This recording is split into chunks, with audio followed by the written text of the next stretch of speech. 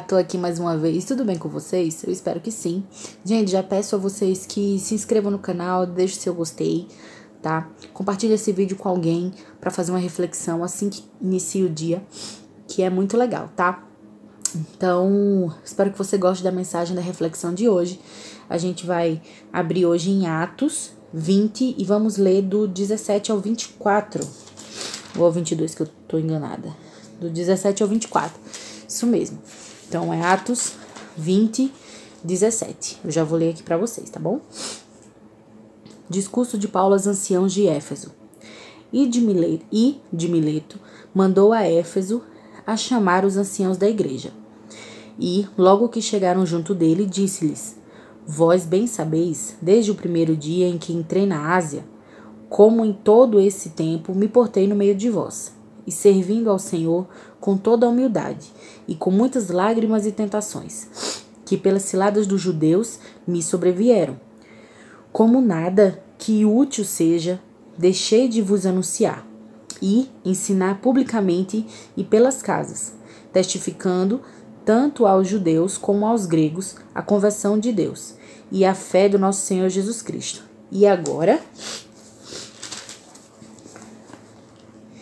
E agora, eis que ligado, ou pelo Espírito, vou para Jerusalém, não sabendo o que lá me há de acontecer, senão o que o Espírito Santo de cidade em cidade me revela, dizendo que me esperam prisões e tribulações. Mas em nada temo, tenho a minha vida por preciosa, contanto que cumpra com alegria a minha carreira e o ministério que recebi do Senhor Jesus para dar testemunho do Evangelho da graça de Deus. Beleza? Então, esse foi Atos do 17 ao 24, tá? Então, hoje, 9 de janeiro, vamos à nossa reflexão. A única coisa que importa. O apóstolo Paulo enfrentou, sofreu, experimentou e passou por muitas coisas que poderiam facilmente fazê-lo desistir da carreira da fé. É, o pessoal foi atrás dele, os judeus. Porém, quanto mais difíceis eram as circunstâncias, mais ele se mostrava disposto a servir a Deus, testificando, testificando tanto aos judeus como a gregos o arrependimento o arrependimento para com Deus e a fé no Senhor Jesus Cristo. Podemos nos perguntar qual a força e o que movia Paulo adiante com tamanha convicção em meio às circunstâncias e a despeito delas. O que é que movia tanto Paulo? O que é que dava tanto a ele essa certeza? Né? Essa, ele podia até ter medo, mas ele tinha fé. E a resposta nos é dada no versículo 24. Paulo não considerava sua vida mais preciosa do que o desafio de completar o ministério que tinha recebido do Senhor Jesus. Ministério este que consistia em testemunhar o evangelho da graça de Deus.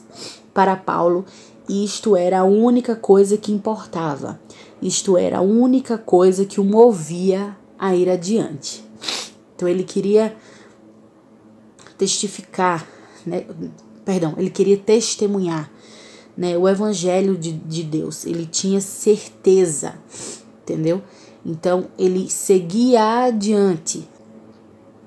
Ele dava mais importância a isso do que até a própria vida, né? Ó, quando fala aqui, ó, resfriada, gente. É, Paulo não considerava sua vida mais preciosa do que o desafio de completar o ministério que tinha recebido de Jesus. Então, para ele era mais precioso o ministério que ele recebeu de Jesus do que a própria vida. Olha que coisa sensacional, né, gente?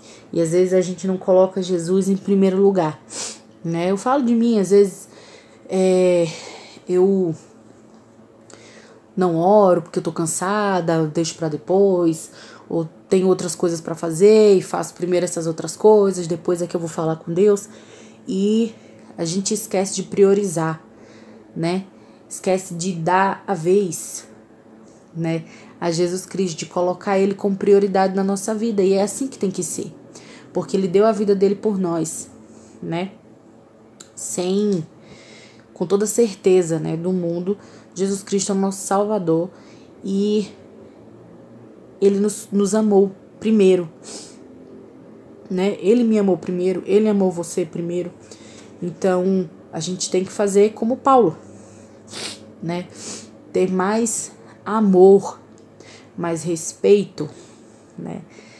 Com o ministério que Jesus deu pra gente, colocando Jesus à frente dos nossos problemas, mas também colocando ele em primeiro lugar da nossa vida. Né? Então temos que amar primeiro a Jesus assim como ele nos amou. Né? E depois as outras coisas vão acontecendo, nos serão acrescentadas, né? Assim. E aí vem assim, ó, a pergunta, a pergunta para você refletir. Qual tem sido sua motivação para ir adiante testemunhando da graça de Deus? Vamos de novo? Qual tem sido a sua motivação? Qual tem sido sua motivação para ir adiante testemunhando da graça de Deus? Qual é a sua motivação? Que o Santo Espírito de Deus, que o Santo Espírito de Deus torne a sua motivação tão única e forte como foi a do apóstolo Paulo. Nesse sentido, que Deus abençoe você. Legal, né? Então, essa é a nossa reflexão de hoje, com, te, com o título A Única Coisa que Importa. E realmente, é, Jesus Cristo ele tem que ser o prioritário nas nossas vidas, né? O único mais importante. Por mais que a gente ame pai, mãe, os filhos, esposo, esposa, é, se não é a misericórdia do Senhor nas nossas vidas, nada somos, né? A gente não segue em frente. E Jesus tem que ser a nossa prioridade, ele tem que ser a nossa motivação, ele é a nossa motivação diária, constante, né? Você acorda, abre os olhos e agradece, Senhor, aqui estou mais uma vez para a honra e glória do teu santo nome, para te servir e te adorar. Sou grata a ti por mais um dia, né? Então, eu acho que o Senhor Jesus ele tem que ser a nossa motivação diária. E as coisas estão difíceis, né? Cada dia que passa a gente vê aí cada vez mais coisas absurdas nos jornais, na TV, nos noticiários. E a gente não pode se abater, né? O cristão não deve se abater. É... Quem conhece a palavra de Deus sabe que os tempos mais sombrios estão chegando, porém a gente tem que se manter fiel, firme, acreditando e confiando que nosso Senhor Jesus é por nós, que a alegria do Senhor é a nossa força e que com Ele nós podemos tudo, nós somos mais fortes, somos mais que vencedores. Então a gente não precisa se abater, a gente pode sim se preocupar, porque nós somos seres humanos, a gente se preocupa, né? A gente vê as coisas acontecendo e a gente fica pensativo nas próximas gerações, nos nossos filhos. A gente não sabe quando que determinadas coisas vão acontecer, se vai ser na nossa geração, se vai ser na deles, se vai ser na próxima. Mas são coisas que preocupam a nós.